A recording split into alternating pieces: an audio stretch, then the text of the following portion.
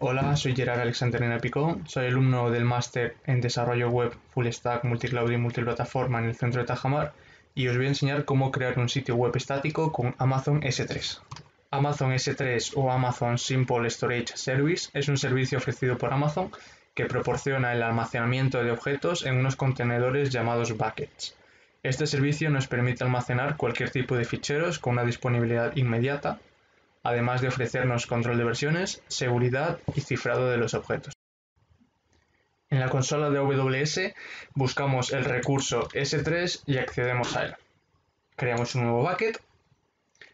Le tenemos que poner un nombre que debe ser único, es decir, que no pueda haber ninguna cuenta cuyo bucket tenga el mismo nombre. En este caso vamos a ponerle este mismamente. Vamos a trabajar en el norte de Virginia, que es la región que viene por defecto. Como creemos que el bucket aloje un sitio web, este tiene que ser público, por lo que tenemos que permitirlo. Desmarcamos este checkbox y marcamos este confirmándolo. El resto de parámetros de configuración los podemos dejar por defecto y le damos a crear bucket. Ya tenemos nuestro bucket creado y con acceso público pero como los buckets no tienen herencia, los objetos que contengan no tienen acceso público. Para otorgárselo debemos crear una política para el bucket. Accedemos a nuestro bucket y en la pestaña Permisos buscamos la sección Política de bucket y le damos a editar. Copiamos el ARN del bucket, que es el nombre del recurso, nos servirá para el siguiente paso. Le damos a generador de políticas. Como tipo de política seleccionamos S3 efecto allow, principal ponemos un asterisco y en action buscamos get object. Aquí está. Eh, pegamos el nombre del recurso, si no lo tenemos podemos usar la sintaxis que viene aquí abajo y añadimos al final un barra asterisco para que afecte a todos los objetos de nuestro bucket. Le damos añadir statement, vemos un resumen con el statement que hemos añadido, le damos a Generate Policy y se nos genera el documento JSON con la política. Pues copiamos esto y ya podemos volver a la pantalla anterior. Aquí simplemente tenemos que pegar lo que hemos copiado y le damos a guardar cambios. Ya tenemos configurado el bucket y sus objetos con acceso público. Ahora lo que tenemos que hacer es subir los ficheros de nuestro sitio web. Para este tutorial vamos a subir una hoja de estilos una página de error que simplemente tiene código HTML, la imagen de Luigi y la página index que va a incluir la hoja de estilos y la imagen de Luigi.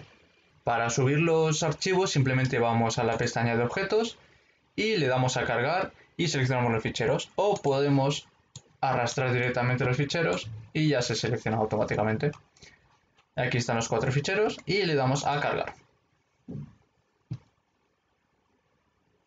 Una vez que se han terminado de subir, le damos a cerrar y como veremos ya tenemos nuestro bucket con los cuatro ficheros de nuestro sitio web. Vamos a acceder al index y vamos a buscar la URL. Como podemos ver, se carga correctamente los estilos y la imagen, pero podemos comprobar que esto todavía no es un sitio web como tal. Podemos ver que en la URL aparece el nombre del fichero que funciona como índice de la página, además que si intentamos buscar una página que no exista, por ejemplo esto, en vez de salirnos un error de servidor, nos sale un mensaje en XML informando sobre el bucket, cosa que no debería mostrar. Para convertir nuestro bucket en un servidor que aloje nuestro sitio web, tenemos que volver a la página de nuestro bucket.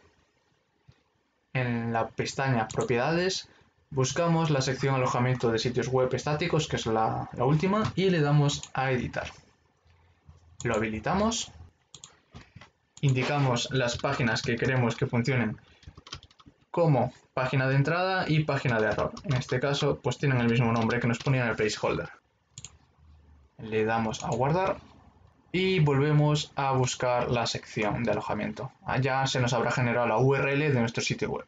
Como veis, ahora ya no muestra el nombre del fichero de inicio. Y si intentamos acceder a una página que no existe, nos carga la página de error. Y eso es todo. Para el ejemplo hemos usado una página bastante sencilla, pero podríamos almacenar páginas mucho más complejas y con más ficheros. También podríamos separar los recursos y tener, por ejemplo, un bucket todos los documentos que funcionen como páginas en nuestro sitio web y en otro los recursos como las imágenes, los iconos, vídeos, etc. En conclusión, es bastante útil poder almacenar sitios web estáticos mediante buckets.